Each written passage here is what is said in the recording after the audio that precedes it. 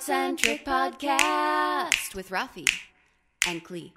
Hola, you amazing artist. It's Rafi. And Klee. And today we're going to talk about artist taxes, business plans, and more- Proposals. proposals and things like that. And it's, uh, you know, it's going to be a subject that uh, is very exciting. I can tell that by and large it's the admin time of the year for Oh, us creatives because a lot of our questions are kind of admin related Yeah. today. very admin related. And obviously, if you guys are watching or listening to this, we're here with our amazing Rogue Artist family uh, who is going to chime in. So if you're listening and you hear us read off a comment, that is their brilliant selves. Um, chiming in and giving us great feedback and insight into the subject that we're talking about. So, Or questions that may arise related to the topic as well. Exactly. So, without further ado, let's talk about uh, taxes. I mean, basically, one of the questions that we got had to do with taxes and what kind of things um, you write off. How you categorize your stuff. How you categorize your so stuff. Basically, the question went like this taxes. In- inventory is an evil word. So, how do you classify all your stuff for your taxes? Right.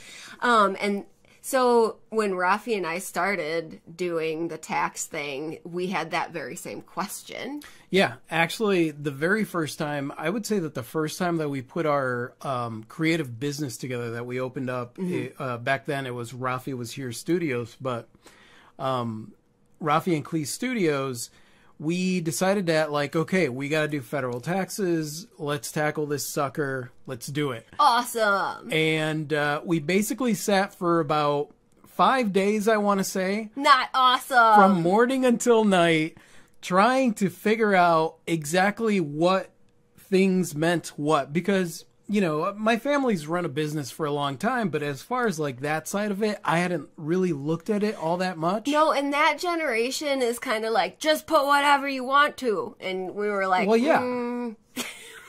that's, not that's what. my unsolicited advice by the way So after um, a not very awesome five days of trying to figure out how to categorize our stuff, we ended up hiring a, a CPA yeah um, who gave us the basics on how to categorize your stuff, which we'll talk about first, and then we'll talk about how that's been tweaked. Yeah. I think that's a good plan. It's been tweaked. It was good to have a CPA. Now, first off, like if you're gonna have somebody um, doing your taxes, you want to make sure that you have a good relationship with them, and also that you are willing to really ask questions. yes. Um, and that they're willing to answer your questions. When it came to her, I think that because she was independent, she wanted to hold on to the reins. And so, like, anytime that we asked questions about something, we would get the runaround.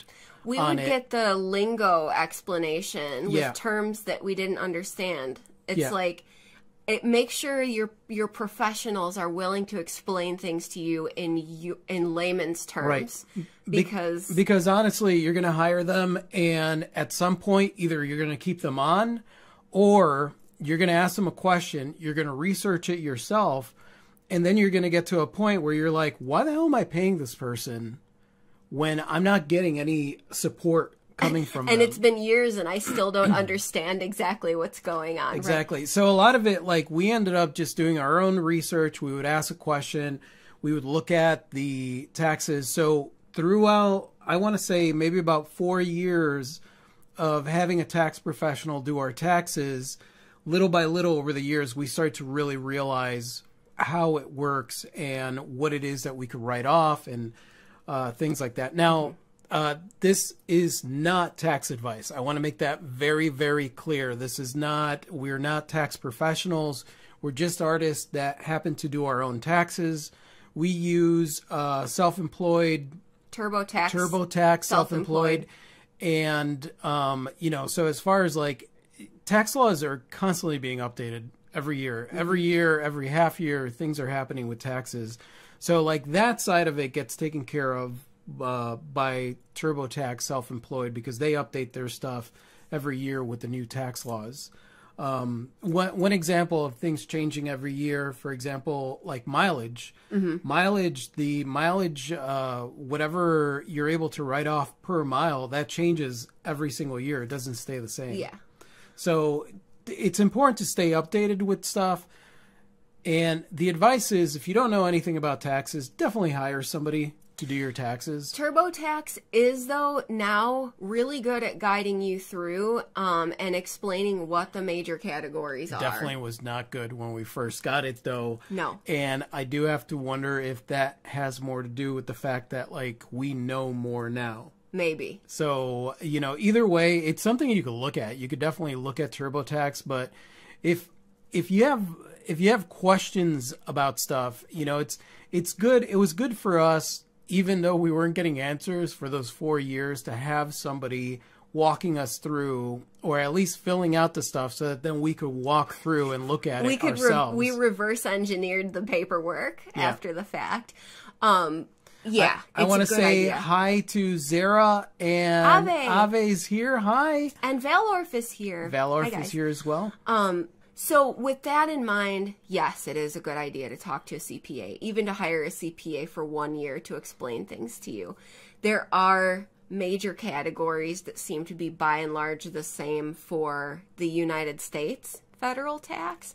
So we'll go over those and then we can quickly cover how it is that we keep track of that stuff. And then Yep. we can keep go over some things that you don't need to keep track of that a lot of creatives think that you do. Yeah. Okay? Yeah.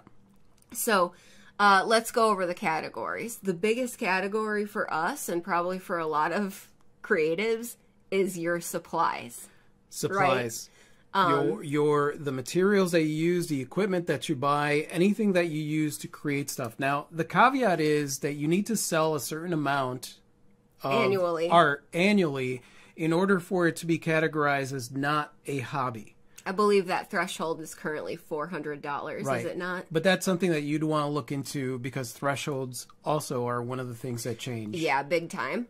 Um, but yeah, your biggest category is going to be the materials used in the creation of your artwork. We don't itemize those materials or break them down any further. They literally go into a category called supplies. Yep. You don't need to complicate it any more than that unless you want to for your own personal records. But Yeah, You know. they're they're basically your supplies. So supplies is definitely one materials, supplies, anything that you purchase that has to do with um, the creation of the art that you create. Right?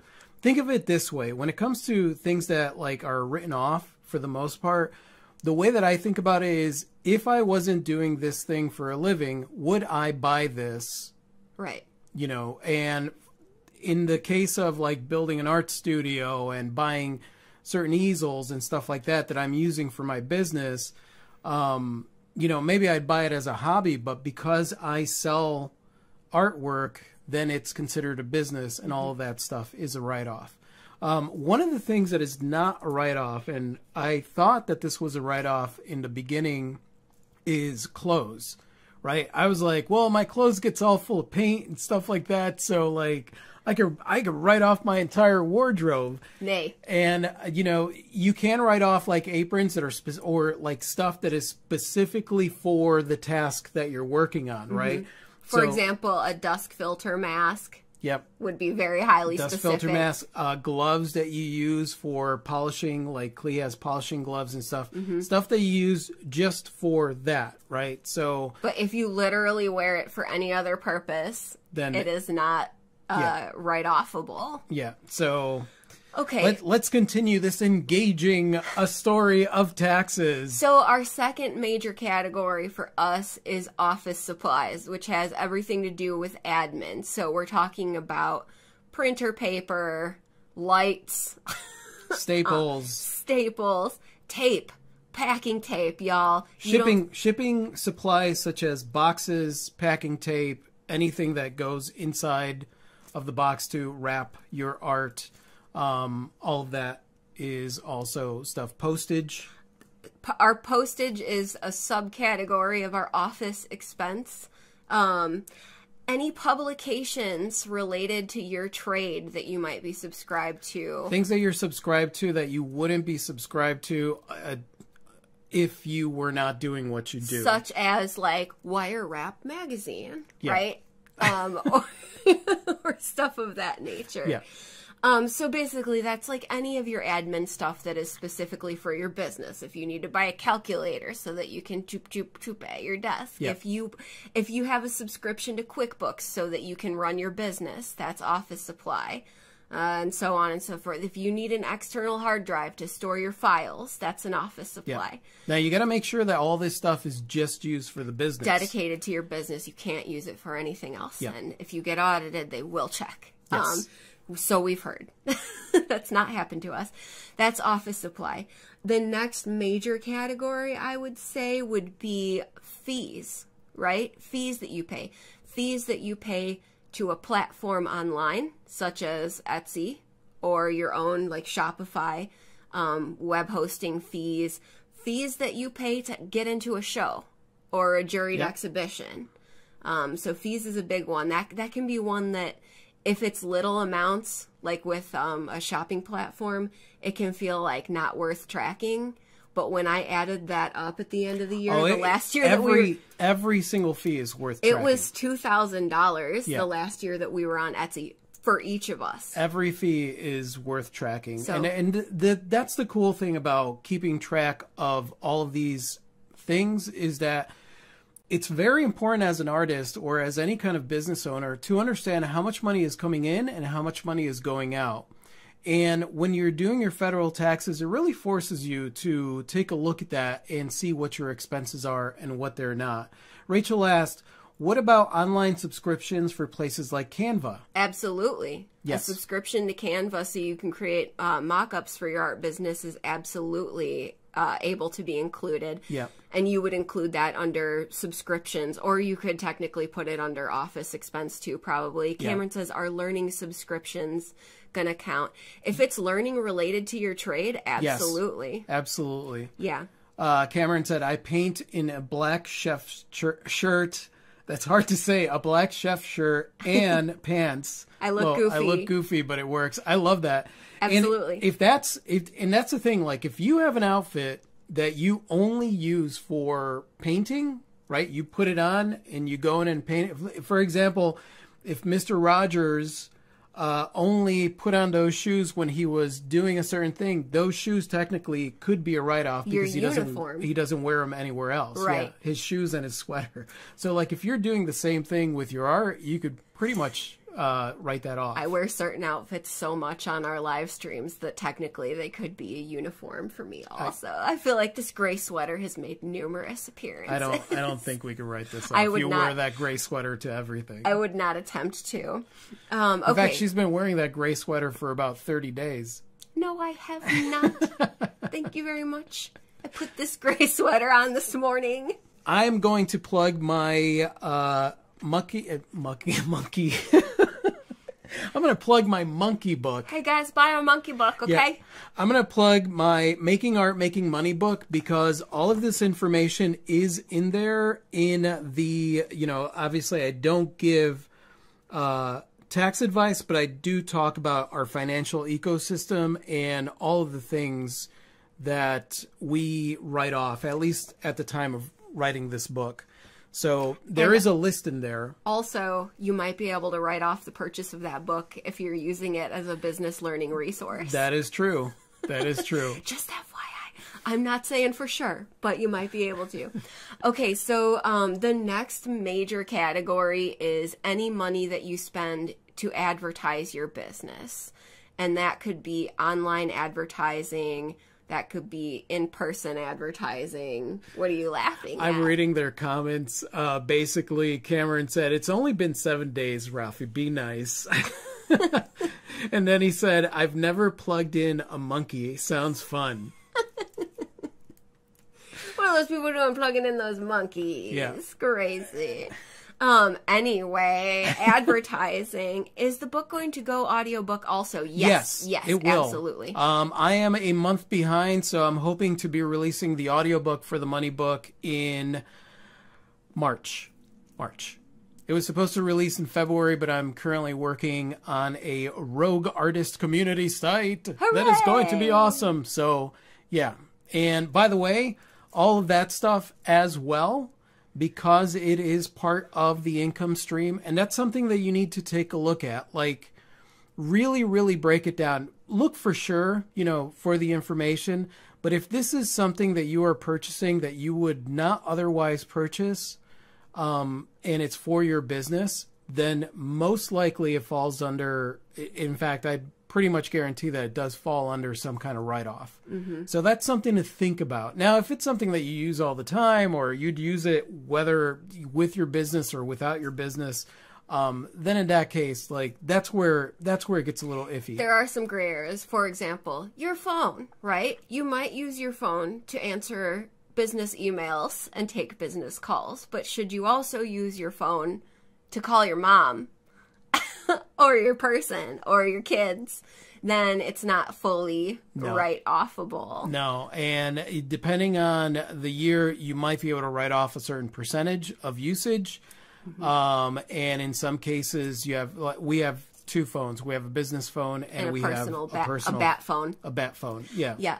Um okay, so uh back to advertising. It's pretty self-explanatory. Any money that you spend advertising your business, um postcards, flyers, things that you include with your packages such as business cards, uh things of that nature. Uh, websites. Websites. Websites fall into advertising because you wouldn't have a website unless you were, you know, it's it's anything that you use to put yourself out there that you're paying money for. Um, all of that falls under advertising. Uh, if you pay an influencer to promote your product, I don't think any of us here do that. But if you do, that's fine. Um, and that's a write We off should to, really pay an influencer to talk about us. to talk about us and our art and be like, yeah, look at this art. They'll probably get it all mixed up. They'll be like, look at this jewelry that Rafi created and these paintings that Klee created. Because I don't know. Um, Every time I hear about paying an influencer, I'm like, yeah, but they don't know you. So what about Cindy wants to know what about buying your own products like a t-shirt to wear in public for advertising purposes? Yeah, Yeah. yeah, I absolutely, think absolutely. I mean, that's one of the things, though. You have to be able to justify that you would not buy this unless you were using it for said thing. And so you kind of have to sort of like can you prove it, right? That's that's the question that we ask ourselves. If an audit happens, can you prove the business use for this? What I would actually write that off for is, uh, you know, for proofs, because you're able to write off your proofs, right? So, Quality like, control. Quality control. So if you need to order a specific amount of T-shirts in order to make sure that the quality is good, you wouldn't be buying those T-shirts unless you were checking the quality. checking the quality. So that's something that you could definitely write off. I have a cling for my car. Absolutely. Yeah. That's a write off. A cling for your car. Okay, so after that, uh, another category is meals and entertainment, which is a tricky one, and you want to be careful with this. Meals and entertainment change as well. That's Um, Yeah. one of the ones because uh, over the year or last year with the pandemic, there was a different rule that applied. Mm-hmm. Um, but yeah, you cannot write off your entire meal, and you cannot write off a meal just because you, You know, want to. You want to. Um, if you are doing a four day show and you're purchasing food because you have no other option than to purchase food because you're at a four day show, that counts. yeah. Um, Again, one of those one of those things that like if you're at a four day show and you can't go home to eat and you don't typically eat out and you need something, then that is a write off. However, the entirety of it is not. no, I believe it's a percent. It's a percentage of. sometimes 50%, it's sometimes 25%. Yeah. if you take clients out for a meal to discuss business or an agreement that you're working on or a proposal, um, that is a write off. Uh, and again, it's the same rules, basically. Basically, think of it this way: if you are writing off specifically because it is your uh, you have to eat somewhere and it is your only option to eat at this place because you are busy working or because you're meeting someone there for your business, then that's that's where you can write it off. That's That's where you can write it off. Okay, so the next category. Bethy, uh, Beth said it's like 30% for meals. That sounds right, Beth. Um, the next, ca- and what am I missing? Obviously, mileage. Let's talk about mileage. Mileage. Track your mileage. Track your mileage, guys. Um, if you have to go somewhere specifically to purchase supplies, if you're driving to a gallery that you show work at, if you're driving to a show, basically anywhere that you would not be going if not for running your business other than your place that you work from, Yep. right? um, then that's a mileage write off. Yeah, and the way that I look at it is because back when I was working and I was in management, I didn't get to write off the miles that I traveled to work because that place is established, right? So if you have an established location, for example, if you have a studio outside of your home and that's where you work, that does you can't write off that mileage. House to studio is not. Yeah. yeah. Now, however, if you're in the studio and you need to deliver some art, then that is a write off. Mm-hmm. Anything that is work related that isn't typical, that isn't part of your normal routine, that could be written off in mileage. Now, as much as you guys are gonna not like this, as much as I don't like it, you have got to keep a mileage log because this is one of the biggest things that gets checked. This and home use square footage are two of the big red flags for taxes. You have got to keep a mileage log, whether it's on a phone or whether it's on your computer or whether you physically keep a paper book, which I do. Because I can stick it in my purse. And I mean, I it out. like I like having tactile stuff. I know a lot of people do things on their phone, but like I like being able to feel it, you know, um, and and be able to dig for it and look for it and have something physical to touch. So yeah, we keep a we keep a mileage log in the car, and then we jot down our mileage whenever we go somewhere. Now, there are some pretty good apps that'll track your mileage for you. I didn't like the ones that I tried a few years ago, um, so I still keep a paper log. And I just write where we're going, and I worry about figuring out the mileage later. As long as I know the date and where we went, that's the information Yeah. I need. Um, Mile IQ is your friend, said Mile Bethy Bear. IQ, awesome, awesome. Um, it's something that we'll look into. It's something that we've been thinking about updating. Zara said tactile's my thing too. Ave said I use QuickBooks mileage thingy in the app. You swipe left and right for biz versus personal. Oh, that's pretty good, Ave. That's really cool. I love that. so any of you that are using QuickBooks, that's a good one to probably implement for your mileage. Mileage can super duper add up. Yeah. Just like nickel and dime fees that you may not pay attention to, but that could add up to hundreds or thousands of dollars.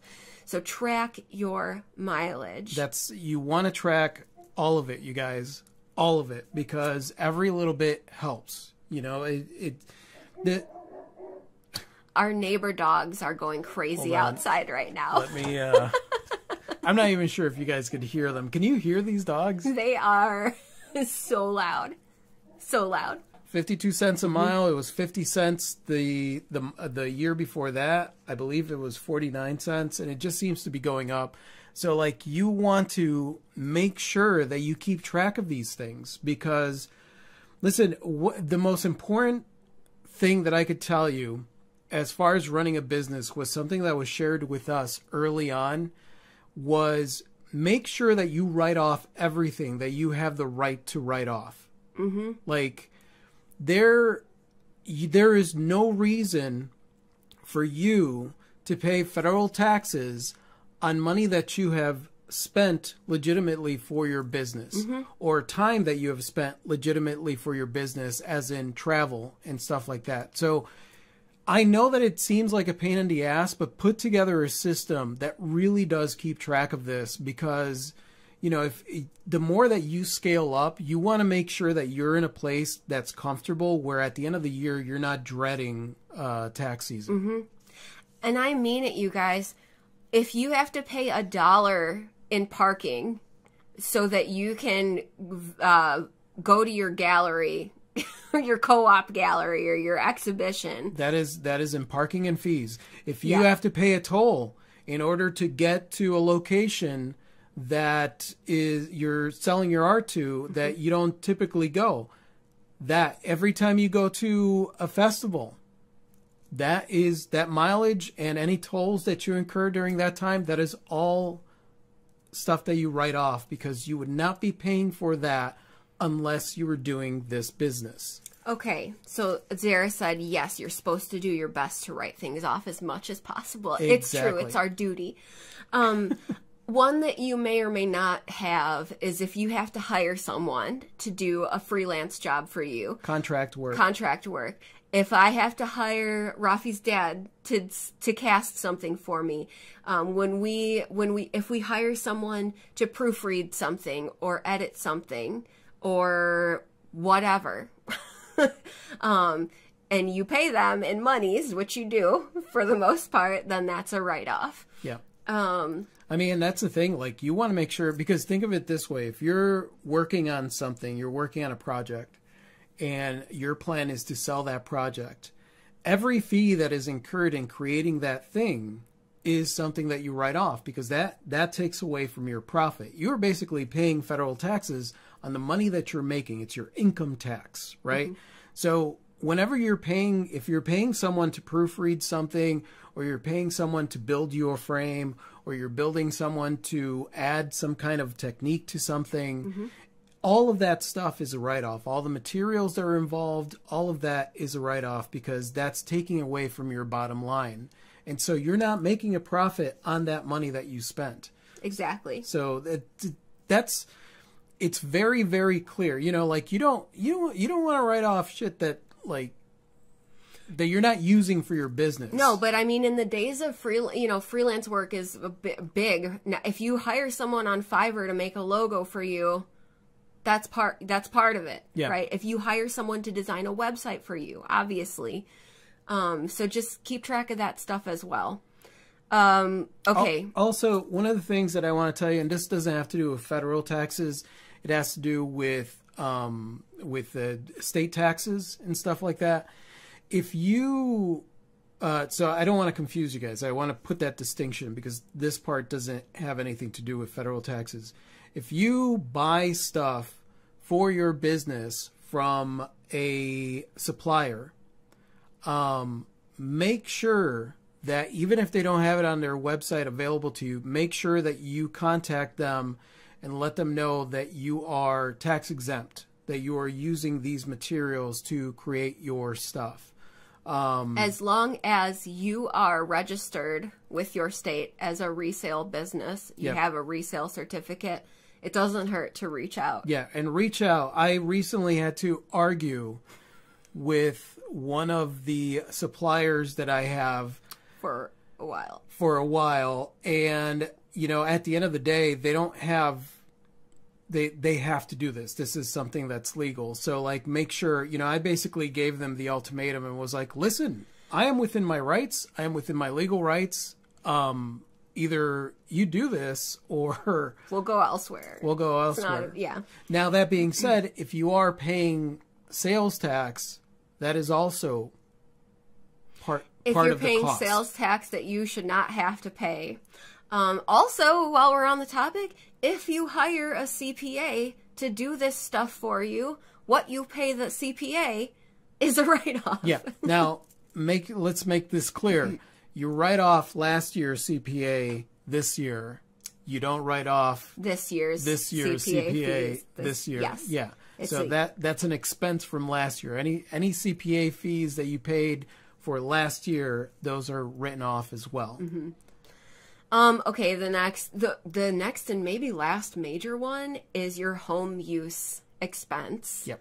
Or your studio expense, right? If you have a dedicated building that you own or rent or lease that is solely used for the purpose of your business, then that space is a write off. Yeah. 100%.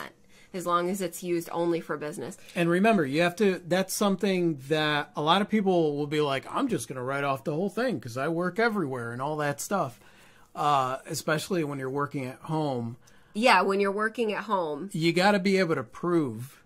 So let's make that distinction, Yeah. right? You're leasing a space that's only as your studio. That's 100%. You're working from home. You have to be very specific. Yeah. If you have entire rooms solely dedicated to art and nothing else happens there, great. You could write those. You could you could add those rooms as part of your business. If you have mixed use rooms, it's a they big don't count. they, They don't, don't count. count. and that is the one thing. I would say that that's one of the biggest things that does raise a red flag that Yeah. causes a lot of audits is when people overdo it and they're like, "Well, I use like 90% of my house for this." And it's funny because like we never did that and our apartment was literally Almost. all of it, you guys. We had artwork stored in the hallway. There was a room that we had that used to be where we would sit and watch TV, and that eventually just filled up with artwork and supplies and boxes and things like that. We had our studio in our living room. We had the kitchen, and we would use the sink in the kitchen for the stuff. We had the bathroom and our bedroom. And our bedroom had artwork stacked uh, against the walls. Our bathroom was the only place where we didn't we didn't store artwork because that's that's just weird. So I don't, I don't want to sell. I don't want Right. to be like, well, we keep this one in This our one was- bathroom, right by the toilet.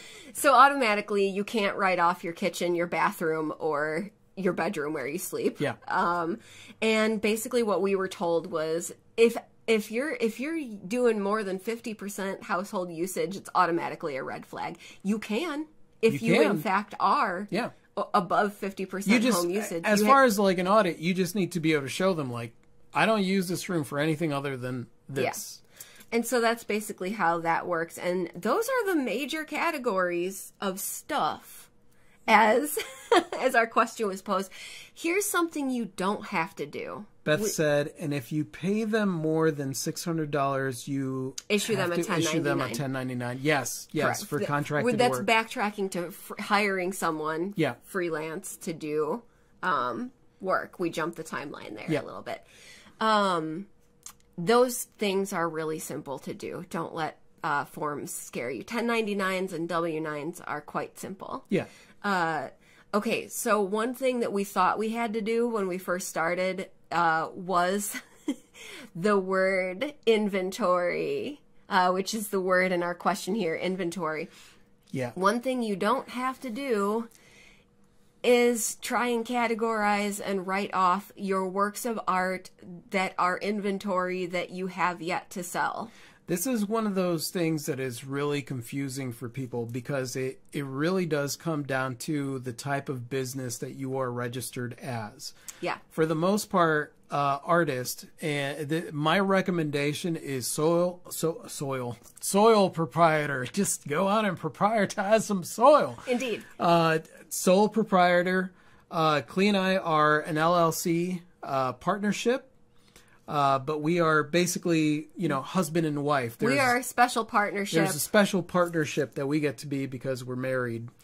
So, um, if you are an LLC or a sole proprietor, you are not required um, under a certain amount of annual sales. I think once you're making over, like, if you're making over a million, If you're making like huge bank, then you, you know. have to do certain things. Yeah. But for most of us, you're not required to keep track of your inventory because that's essentially for that's for loss corp- purpose, corporate loss purposes. Corporate loss pur- purposes, yeah, because you know basically you're keeping track of.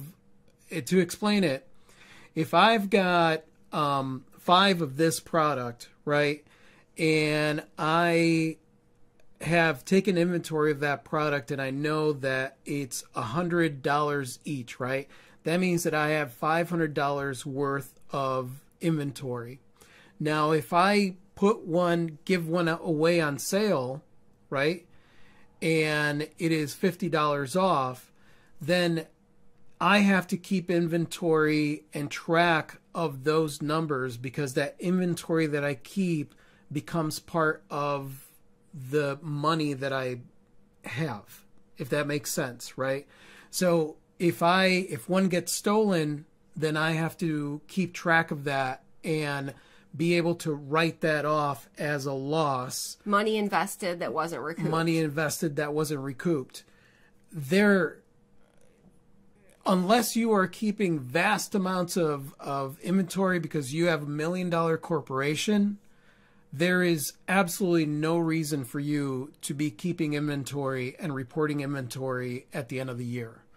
Because really, as a sole proprietor, it is money in, money out. Money Yeah. in, money out. The only reason you would want to do this as a sole proprietor, and trust me, in my opinion, it's not worth it. If you want to say, I've got pieces that I invested money in that I haven't sold yet, that I have yet to recoup that money, and you want to claim that against your income as a loss, then you have to do inventory. But it's not worth it to us because you are going to sell that thing at some point. Yeah. So at some point you're going to recoup that money. So uh, there's there's tons of other expenses unless you're like S corp or big.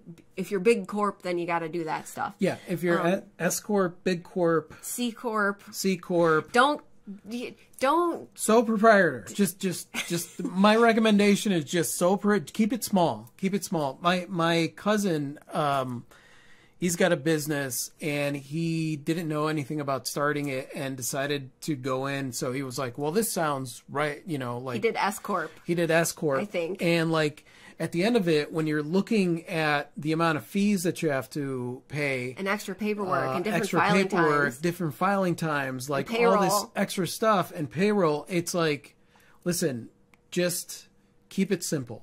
Keep Mm-hmm. it as simple as you possibly can, so that everything is just easy for you to do. Because, um, yeah, inventory. Inventory is one of those things that like it should be a personal thing. Like you want to know what you have, you know, if you're going to keep inventory, but not something that you are reporting at the end of the year because uh, your individual inventory doesn't count as part of your profit and loss. You know, uh, so that's just my suggestion. But obviously, you take that with a grain of salt and decide, you know, which direction it is Right. that you want to head in with In- your business. in my mind, when I purchased the materials to make said thing, I wrote off those materials. Yep. So I don't need to again write off the thing that I made Yeah. because, you know. Yeah. Um. So so there's that, and I think that's our major tax categories. Uh. Did I did we miss any? I don't know, and if if we did, you know, it's in my It's book. all in here. as well as how we keep our ledgers. Shameless promotion. Basically, everything we do to run this business um, on Yeah. the money side. Yeah, everything, everything, and we, you know, I, I think uh, it's really great for people that that use QuickBooks and stuff like that. We actually, uh, Klee likes to joke around, and she calls it notebooks. I use notebooks. like we have everything jotted down. We are very old school when it when it comes to everything and uh, how we keep our paperwork, and then how we file our taxes at the end of the year. One final thing on this taxes thing. You've probably heard us say this before, but I can't stress enough how important this is. How do you keep track of all this stuff, right? All the stuff you bought. Uh, you can keep a spreadsheet if you want to. A lot of people do, and it works for them.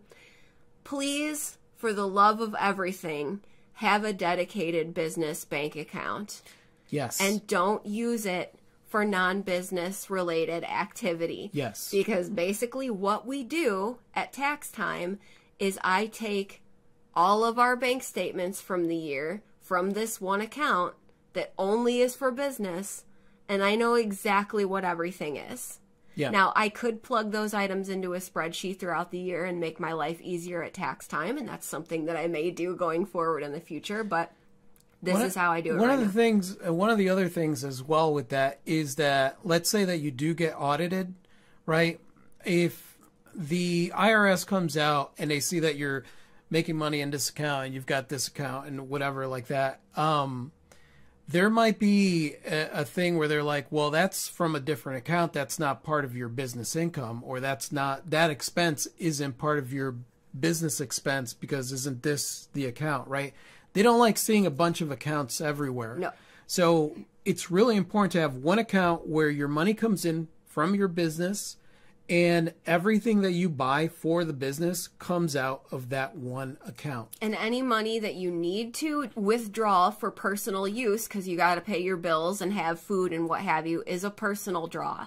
It's like paying yourself, but that's what it's called, and it you can't write that off. Cindy said, "Do you pay in taxes in quarter?" No, Estimated tax, we don't. we don't. It's something that we're planning on doing, and you're also asking how do you figure that out? Basically, what you would do is take a look at last year's numbers, total that out, and um, break that down. You know. Let's say that you think that maybe you're going to make some more money this year or you're going to make less money. It's all an estimation. So whatever it is that you're paying in taxes, um, break that into quarter quarters and then just send that payment. Basically, what that is is like, you know, at the end of the year for people that are working a job, they're paying essentially an estimated amount with their paycheck. Which is why Right. you get a return. And at the end of the year, you know, you file your taxes and whatever you overpaid, you get back. That's your return.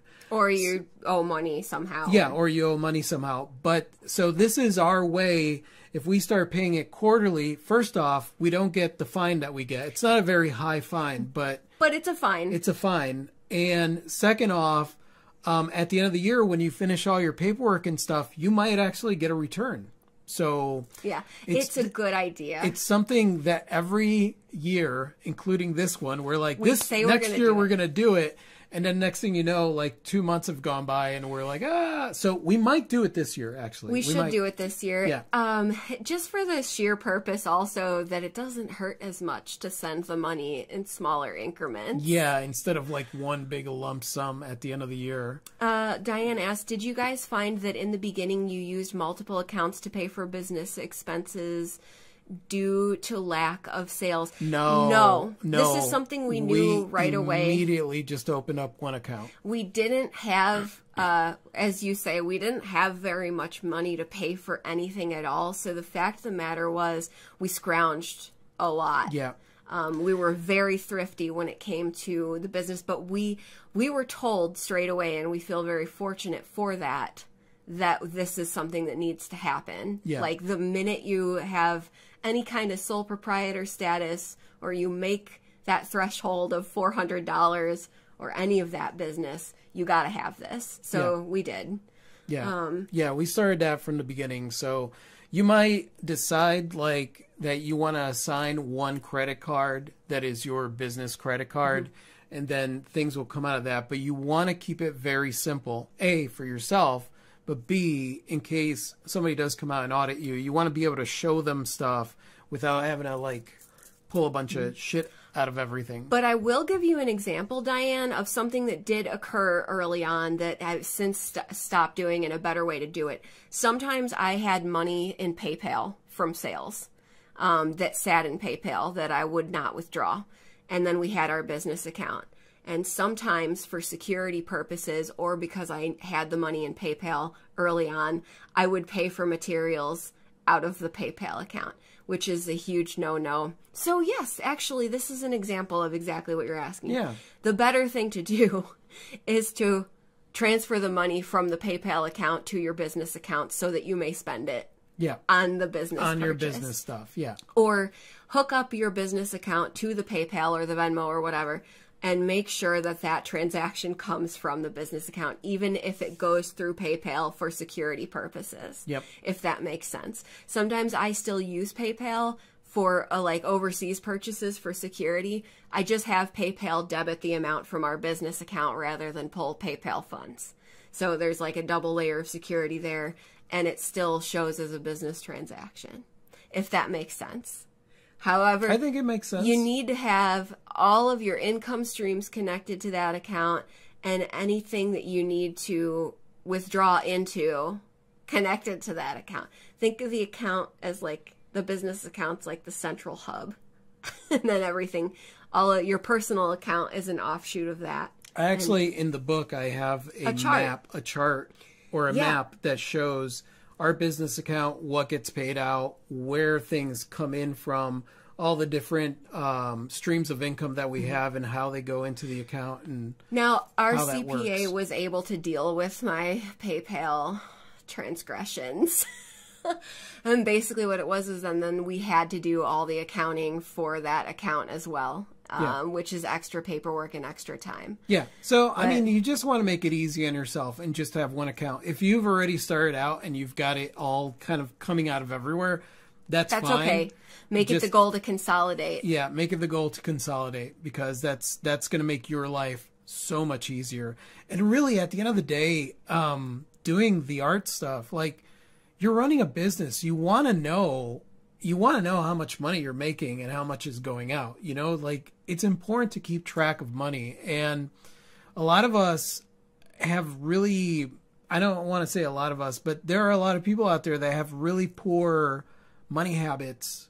And so when it comes time for tax time like it's you know it, you, they they dread it because it's like I don't even know what's what to do here if you are keeping track of your money and making it really easy for yourself where you're literally just looking at one account in order to be able to keep track of what's coming in and what's coming out your life is going to be much more simplified. And really as artists like you want to make things as simple as possible. So you are spending more time working on your art and less time trying to figure crap out so Most yeah, definitely. definitely have a system in place do it for yourself and have a checkbook for your business account.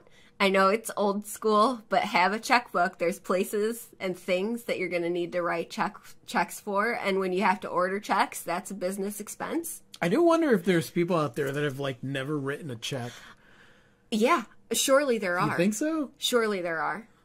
Um, and and it's very rare nowadays that I have to write a check for something, but it does happen. Does. Write my checks. you're such an old lady too though it, works when you write a check Um, did we miss any major categories I don't- I don't think so. I don't think so, and honestly, I should have pulled that up in the book before uh, the live stream because Sure. There are other areas that get into more like specialized based on your situation kind of stuff, but these are the this is the framework, right? This is the stuff that any creative entrepreneur is going to want to look at. ah, Um. Are you flipping to it just Yeah. to make sure? If you guys know of a major one that we uh, glossed over, feel free to throw it here in the chat. Or if you have any other questions related to taxes, which has dominated this whole podcast. It really has. we thought we were going to cover other topics. No, we did not. Yeah. So taxes definitely dominated the podcast. I am going to apologize ahead of time for the for anybody that's listening to this that is just like, guys, this is a total snooze fest.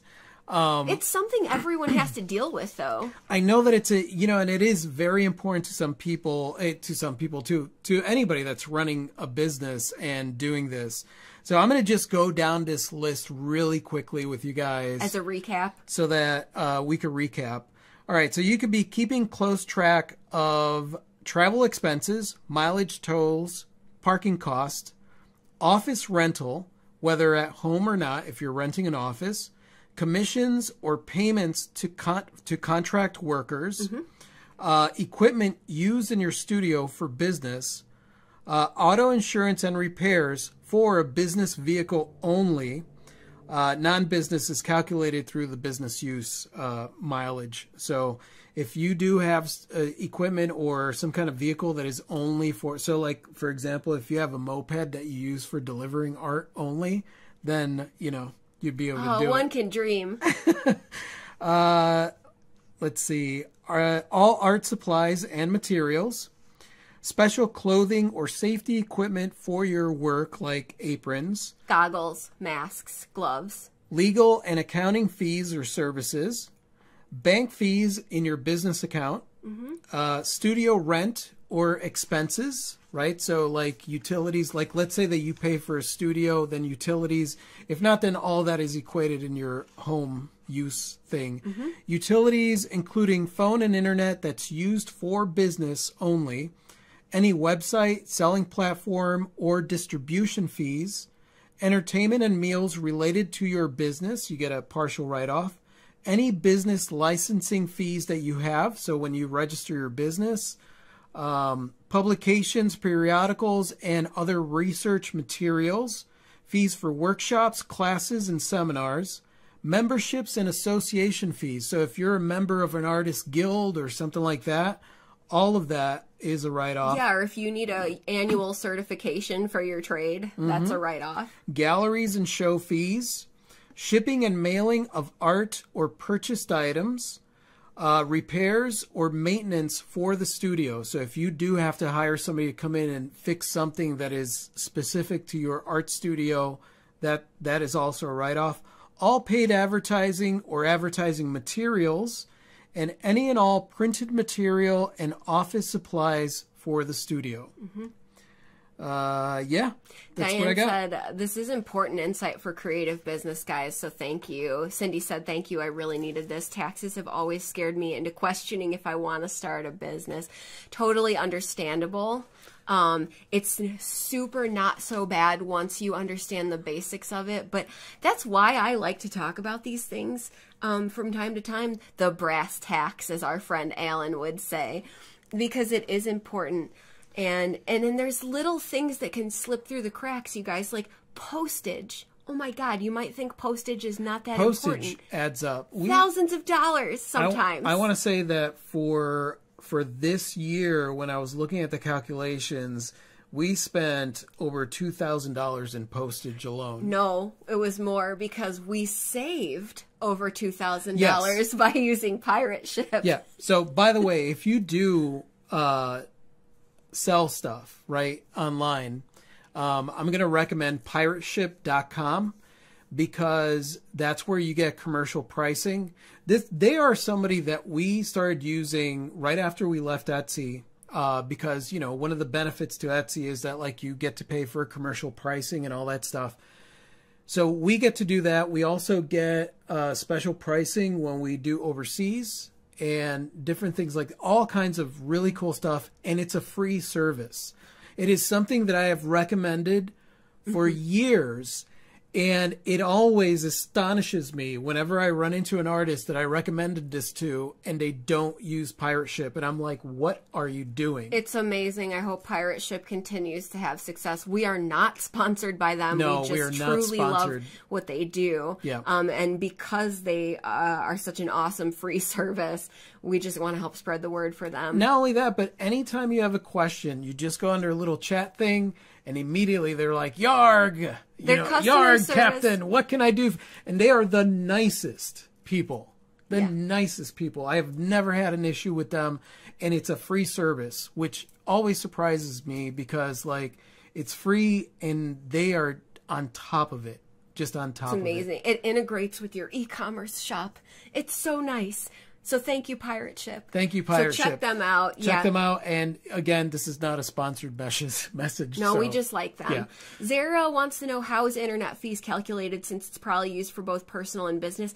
Internet for us is lumped in with our home, uh, our house yeah. bills, our utility bills. So when you do that home expense percentage, uh, then inter- the same percentage gets applied to internet usage. Does yeah. that make sense? I mean, Zara, like if you were doing it, it all comes out of the same thing. If you had a studio and that's you had it had its own internet, mm-hmm. then you know, yeah, then that would be different. Then you would write off that whole bill. Yeah, if you have dedicated internet specifically for your business, it's the whole thing. But if you have mixed use internet, then it's subject to that same home use percentage yeah. as your electric would be essentially. Rachel um, said, "Do you have an affiliate link? You should. I know, right? I don't know if they do affiliate links. I don't know. I'll but... I'll have to I'll have to I'll ask them. It, it would be nice. I mean, they don't charge us any money, so I'm like, I don't want to. It's the least know. we can do yeah. is to talk about how awesome they are. Yeah. Um, no, you know what? Um, they don't do an affiliate link because they don't charge any money for their service. So, yeah. yeah they're not making um, money off of the people that are signed up. They're making money off of the posted postal carriers. Yeah. So that's um, and that's why you get so many good deals. And not only with Pirate Ship are you able to ship at a discount at a commercial rate with USPS, but also UPS, mm-hmm. which has been amazing because there are some great prices that I've been able to charge and price and pay for in shipping my stuff. And my dudes, if you're shipping stuff overseas, the global export rates that they can get you are sometimes half of what you would normally pay. Yeah. Sometimes, other times it just depends. But so, really so yeah, good. I mean, I can't talk about them enough. So let's let's just end it there. Pirateship.com, not Do sponsored. Do it. Just Do love it. them. Okay. So, So that's taxes. I we- I I want to say that we there's a lot that could be talked about when it comes to taxes, Mm-hmm. right? And just to be clear, this is federal taxes, right? Because whenever we do any kind of video or any kind of material in talking about taxes, people tend to confuse federal taxes and then state taxes, Mm-hmm. right? Two totally different things. This conversation has to do with the U.S. federal tax. U.S. federal income tax. It has- this is the money that you make that you have to Yes. pay the federal government for. Yeah. It has nothing to do with sales tax, and it has nothing to do with state tax, as Rafi said. Ave said pirate ship is really the goat. The greatest of all time for shipping. Yeah. Right, Ave? It's Yeah. that's Okay, let's let's not get started on that because I apparently I could just talk about them for forever. Lo- yeah, them and Canvy. Uh, Big love. Big love. Yeah, and Canvy. Canvy.com for your mock ups of your paintings and stuff like that. Dude, if you have not checked them out, they, I do have an affiliate link They are amazing. and Yeah. they're just amazing. And it's, they're, they're actually somebody that I want to work closely with. We have some big projects in mind for the future. Mm-hmm. But again, that's one of those services that, you know, Canvy does charge every year. You could sign up for free with my affiliate link for like three months and check them out. But they're one of those services that you would write off. Yep. You know, it's part of the write off. So any of those subscription services that you use for your business, that's all that's all stuff that you're able to write off. So it's something something to really really think about. So hopefully this gave you guys some good insight and information into uh, taxes, just uh, federal income taxes. And uh, we had some other stuff that we wanted to get to, and but we'll cover those in the next podcast Yeah, definitely. um, which is very interesting because this time of year there's a lot of a lot of questions are revolving around stuff like this. that like, makes sense to me. you know, putting together an action plan, putting together um, proposals, putting putting together a business plan for yourself. You know, it's the beginning of the year, and you know, us included, we're we're really really switching things up and changing things up so that when we head into 2023. Um, we have a, a different plan put together. So, and I think that, you know, taxes, as much as people may not want to hear or talk about taxes, at the end of the day, it's really a great way to really know what's going on with your business financially. Yeah. It is a great way to understand your your business, your financial ecosystem. Yeah. And you want to. Zara said, Canva has mock ups. Yeah, but Canvy is my go is Can. Canva's cool. They, their mock ups are cool, but Canvy, I mean, honestly, I haven't seen anything as good as Canvy. Cameron said nothing like listening to taxes talk at work. Lol, still amazing and learned a lot. Thanks, Cameron. Sorry, Cameron. Um, you guys, I'm a weirdo. I love talking about administrative things. she really does. and I enjoyed um, co-authoring and editing these uh, parts of the money book also. Yeah, and obviously you guys know that my books are very much like you're sitting down having a conversation.